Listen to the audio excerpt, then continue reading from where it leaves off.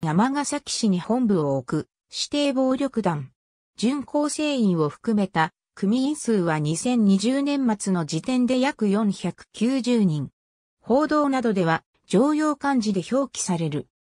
もともとは六代目山口組から分裂して発足した神戸山口組の一部直系組員らがさらに分裂して2017年4月30日に結成されたものであり、当初は山口組の名を冠した任教団体山口組としていた。その後、口述の理由により、同年8月9日に任教山口組に解消。さらに2020年1月12日に山口組の名を外した現名称へ変更した。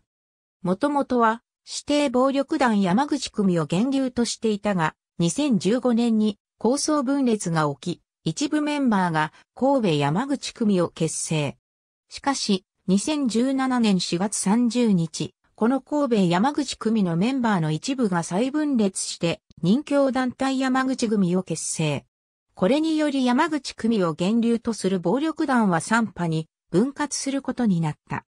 2017年4月30日の決意表明と称した結成式で組織については名目上の組長は置かずに神戸山口組系列の中核団体山県組の小田藩誠元副組長を代表、また真鍋組の池田浩二組長を本部長とする組織を発表した。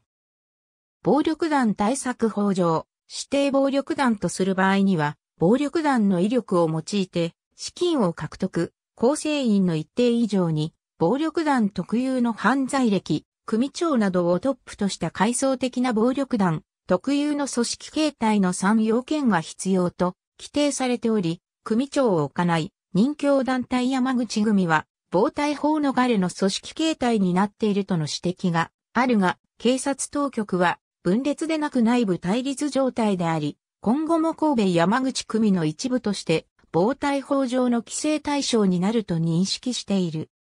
なお、5月7日には六代目山口組系近江一家から分裂した刑事連合の結成式に、任教団体山口組の池田浩二本部長らが出席しており、同団体も任教団体山口組に合流したとみられる。8月9日に任教山口組へ改名した。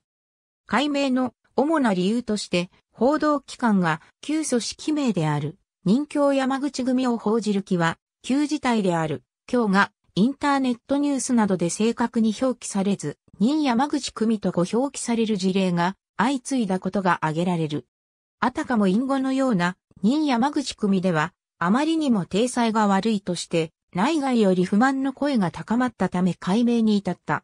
9月12日、神戸市長田区の路上で、代表、小田藩誠らの乗った車列が、武装した集団から銃撃された。小田は、現場近くに住んでおり、自宅を出発した直後に待ち構えていた男らに、襲撃された。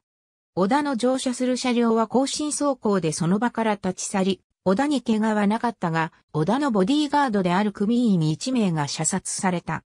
現場からは銃撃した複数の男らが逃走していたが、9月16日、兵庫県警長田警察署捜査本部は殺人容疑で神戸山口組直系である山県組参加の組員を全国に指名手配した。2018年3月22日、兵庫県公安委員会により指定暴力団に指定された。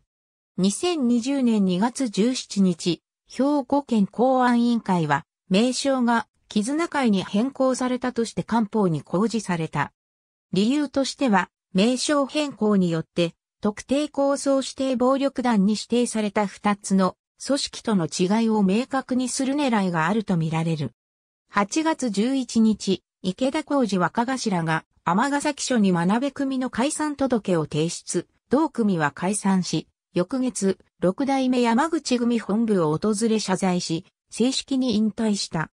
2018年、暴力団追放兵庫県民センターは、地域住民人の代理として、尼崎市内の任教山口組本部事務所に対し、使用差し止めを求めた仮処分申請を神戸地方裁判所に申し立て同年中に認められた。さらにセンターは会合などで使われていた古川組事務所に対し、使用差し止めを求めた仮処分申請を神戸地方裁判所に申し立てた。ありがとうございます。